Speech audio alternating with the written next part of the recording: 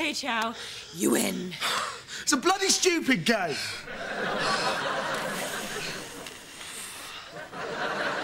It may be stupid, but I'm 20 bucks richer. I'm lunged like a horse.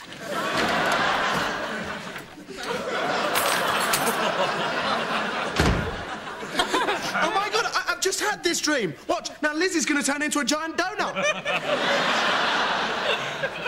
Yo, dude. Nice buns. you get it? So, uh, Mike, how, how'd the job interview go? I got the job. But I, I, I thought it was for a marketing position. Oh, yeah. Yeah, I market on the corner of Broadway and 75th. Mike, I, I don't understand. Why would you go along with this? I, I, I thought they were just hazing the new guy, you know? They actually locked me into this thing, they, then they pushed me out of a van. Oh, dude. That is not kosher. I'm on fire. Look, Mike, Mike, this, this is ridiculous. I, I know you need the money, but just take your time. I'll cover you. You don't need a job, you need a career. Something that you care about. Hey, I, I just saw an ad for a career counselor. Why don't you give him a call? All right, I will. As soon as somebody cuts off my wiener. Don't be in such a hurry, Mike. You should relish the moment. Ah! Ah!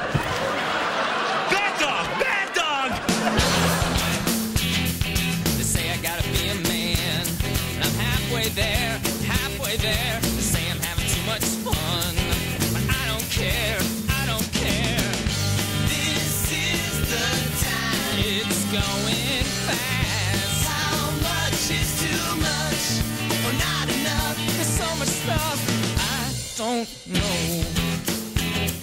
I wish that I could freeze time, but I don't have a time freeze machine.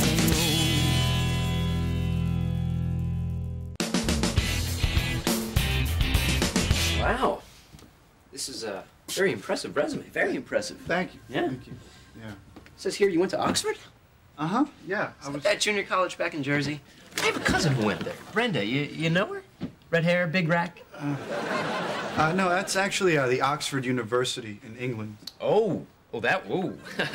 yeah, that's a good one. you know, it's, it's kind of funny that a guy like you would, uh, would even be sitting here seeking career advice from a guy like me, Rick Steve. Well, uh, the, the thing is, is, is you know, I, I've been in uh, nonprofit since I got to New York. Now, you want to say, forget the goody two-shoe stuff, let's go make some elephant bucks, right? You think I can make elephant bucks? I don't know, stop pressuring me. I, I, I wasn't trying to pressure you. I, No, you're right. I'm sorry. I was out of line there. Pay Rick Steve to find you the hot jobs. You don't pay Rick Steve to sit here and feel sorry for himself. My apologies. Have you ever thought of selling accidental dismemberment insurance? well, um, to be honest with you, Rick, Steve, what I was thinking was maybe that I could get into something more on the creative end. You know, like not not not that I'm a creative guy, but maybe I could be the guy behind the guy who is creative. Whoa. All right. Whoa. Yeah? Yeah. Uh-huh. Okay, do you shh, do you hear that? Do you hear that? click, click, click, click. It all just clicked into place, Mike. Okay. I got two words for you. Yeah. Job counselor. Job counselor. Yeah. You know, it wasn't too long ago that I was just like you, believe it or not. Really? Yeah. I was sitting in that chair talking to some jerk who was giving me advice. Rick, please. I, I don't think of you as a jerk. Who said I was a jerk, punk? Rick, no, no disrespect to you or, or, or what you do, but I, I don't know if, if job counseling would really make me happy. Yeah, well, you don't have to get hostile. Listen to you, okay? You know, you come in here and, and, and you whip out your big Oxford package and you slam it on Rick Steve's desk, and yet and yet you have no marketable skills. You have no experience in the real world, Yeah, and and and uh, oh, and you know what else? You're not likable. At least I don't have two first names. Oh yeah. Rick Steve. Oh yeah. Well, at least Rick Steve has a job. Bye.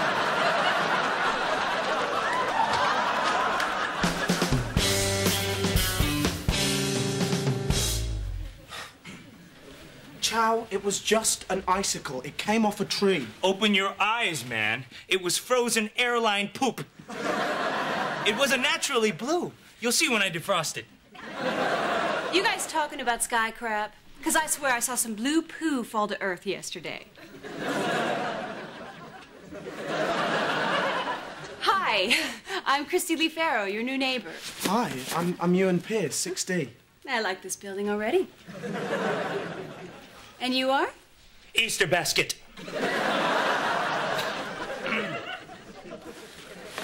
Ciao. Why did you say Easter basket? I was nervous. Well, um, if, if you need anything, um, I'm right here. Well, I need many things at all hours of the day and night. Easter basket. hey, you guys are not going to believe how hot our new neighbor is. Dude, you don't even know. That is Christy Lee Farrow. She's the queen of late night Skinemax movies. Great. See, once one Hollywood bimbet moves in, there'll be another, then another, and soon the whole building will be overrun. Hey, hey, Christy Lee's movies are awesome, all right? Like Sex Scraper, huh? There's uh, violence, action, nudity, violent nudity, nude action. and she saves Christmas. Hey, Mike, why are you dressed like a dork? I mean, you always sort of dress like a dork, but uh, today it's like you're trying to get beat up. I had to see that stupid job counselor, and he was a giant tool. But it did get me thinking about what kind of work I really want to do, you know? And it hit me. What do I spend all of my free time doing, day and night, huh? Oh, sperm donor. Sweet. I was actually talking about video games. I just got to get to know somebody in that industry. My uncle owns an arcade. I could hook you up as a change guy.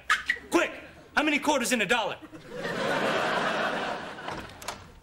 Hey, do you guys have a screwdriver? Can I touch your hair?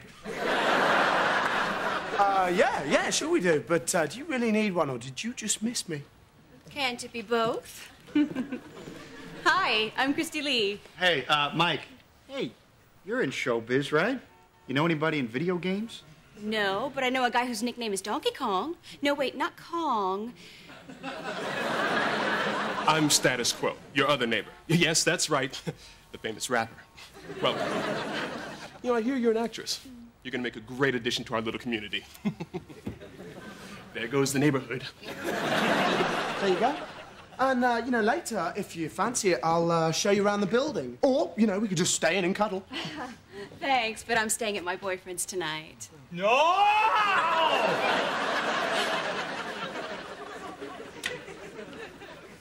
Boyfriend? Damn!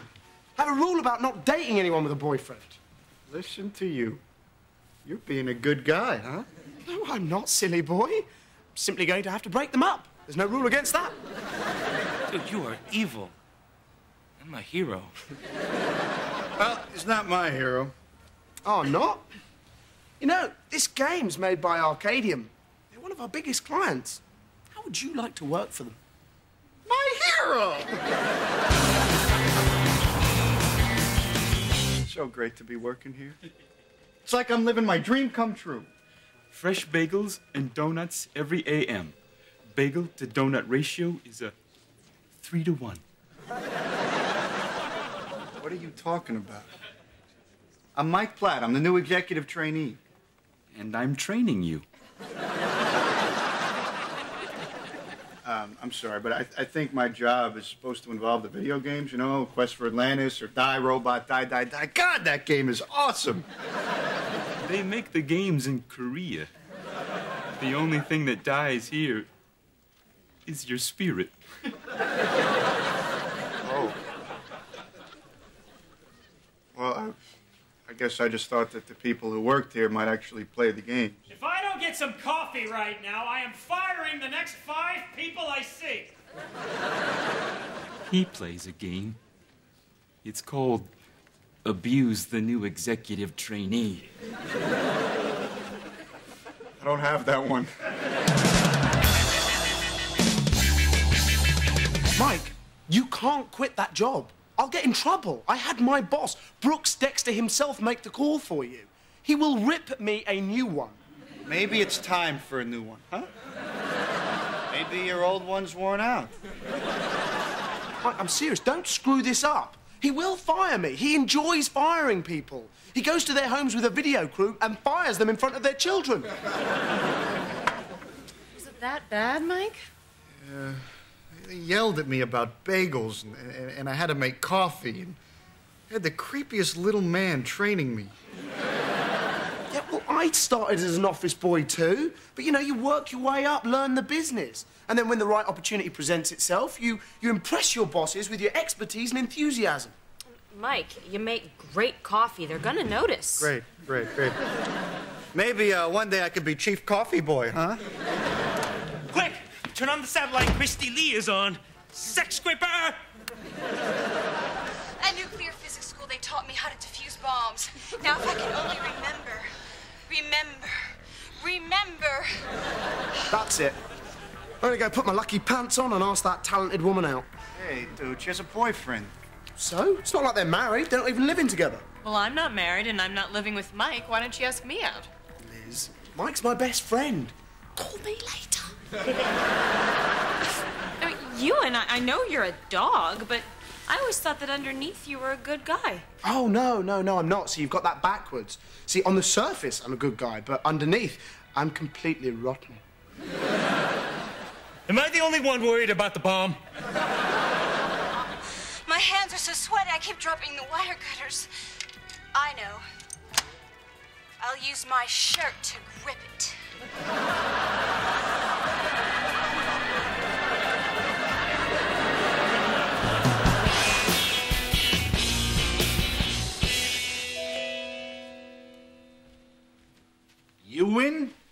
Mr. Dexter, here at my house. Oh, God, where's the video crew? I'm not here to fire you. Who are the flowers for? Are those for Christy Lee?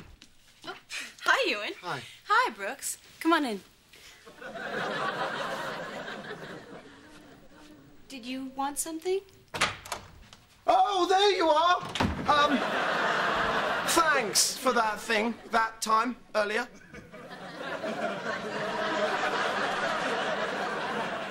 Well, I don't know what I did, but I never say no to lilies.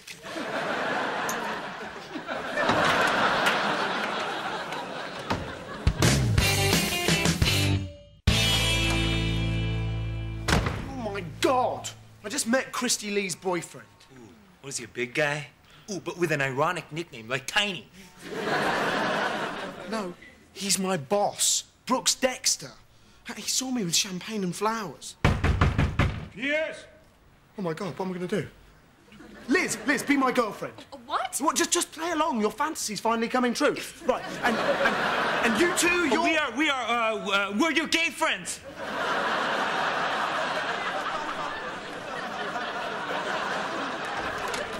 Oh, Mr. Dexter, how nice of you to stop by. This is my girlfriend, Liz. We're in a committed relationship, totally monogamous. Yep, I'm his girlfriend. Yeah, give me some sugar, baby. Whoa, whoa, hey, you. Uh, don't worry, Charles got some sugar for you, too. Oh, my God! What? You just slipped me the tongue. Dude, they were kissing, so we had to kiss. Great, you blew Euan's whole scam. Pierce, tell your friends to leave. Dude, you got soft lips for a guy. Look, uh, sir, I- I'm really sorry. I had no idea that Christy Lee was your girlfriend. It's okay. She's not my girlfriend. She's not. Oh, thank God. She's my father's girlfriend. Brooks Dexter Sr.? But isn't he like 90? No offense, sir, but, well, he looks like the Crypt Keeper. He's 83. He's always had a lot of extra skin. Look, he's talking about proposing. If that happens, she gets his 618 million. So, go have sex with her. Excuse me? I want you to break them up. I don't know. I mean, it all seems a little unseemly. I mean, seducing a beautiful woman to advance my career. Righto, oh, I'll do it.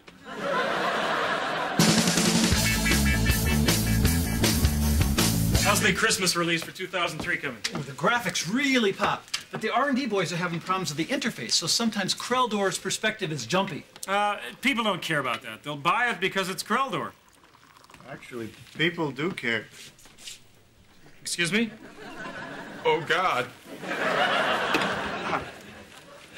I'm uh, I'm Mike Platt. I'm, I'm the new executive trainee, and you know, gentlemen, I, I really don't know a lot of stuff. I'm not a business type guy, but uh, you know, one thing I, I do know is, is video games.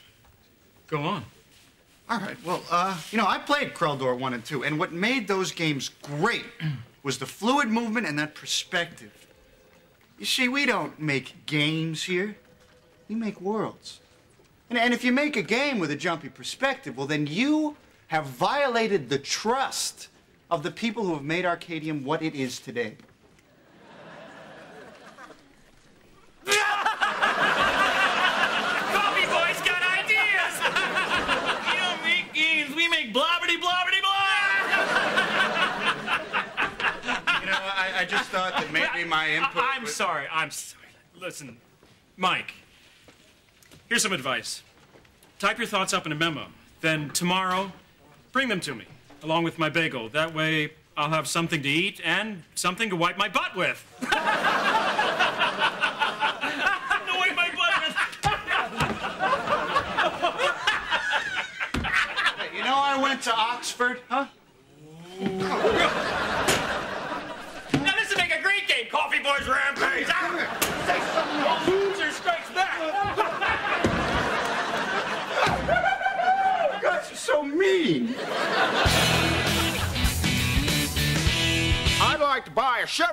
please. And where's the ketchup? I must have ketchup with everything I eat.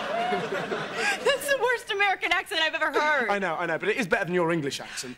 I'd like two pence to ride the lorry to the Queen Mum's flat. Oh, and look how awful my teeth are.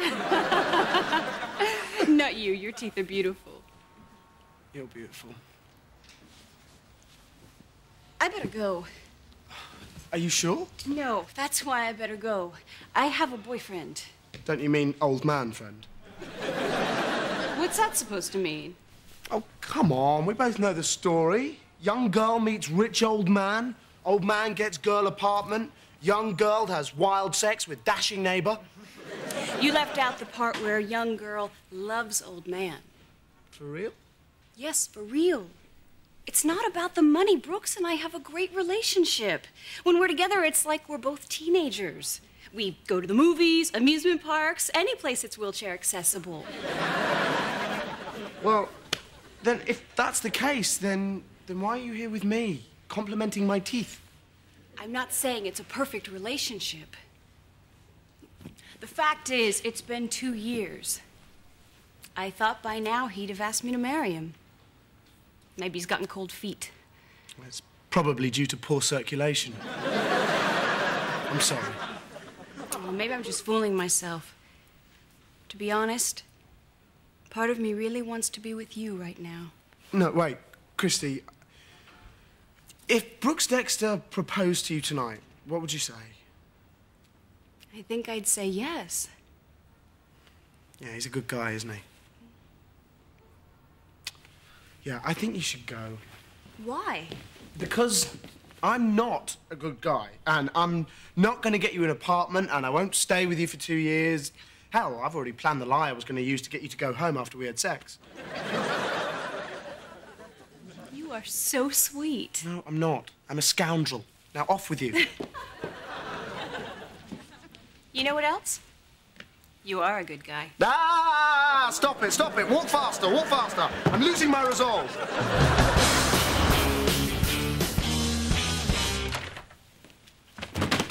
Well, I just had a nice day. First, my boss ripped me a new one for not sleeping with Christy Lee. Then I ripped myself a new one for not sleeping with Christy Lee. Two new ones. You might have to get a special toilet. Euan? Hey, I thought I heard you. Hi, how are you? I brought you my movies.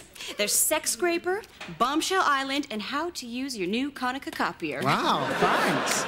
And if you wait three weeks, there'll be another one. Sex Scraper 2, The Reckoning. we start shooting tomorrow. Wait a second. We watched the first one. You died in the end. La, la, la, la, la, la, la, you're ruining it for me. Hey, Christy, these uh, these movies, a lot of people work on them. Sure. Can you make coffee?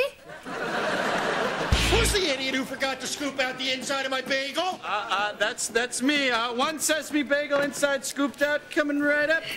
I see you've met our director. Yeah, I have. And hey, he's not that bad. Calls me pal. Move it, pal. What are you high? I can't believe I'm actually working on a movie. Hey, what scene is this right now? Security guard shower room. Oh, oh. Let's go, you freaking brain death. I'm starving. You pay me for this. Mm. So, you thought about it? Ready to join Team Rick Steve? Chau's not into being a job counselor. Yeah, well, that's okay, because, you know, Rick Steve doesn't think you have what it takes anyway, buddy. Look, I'm sorry, but the credit card company asked Chow to do this. Hey, look at the bright side.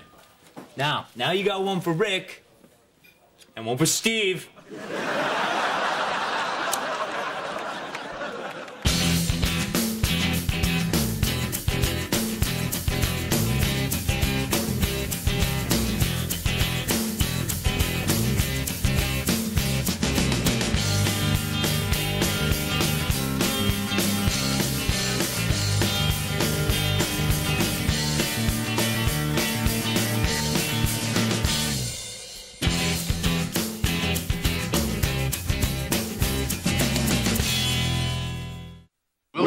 For you.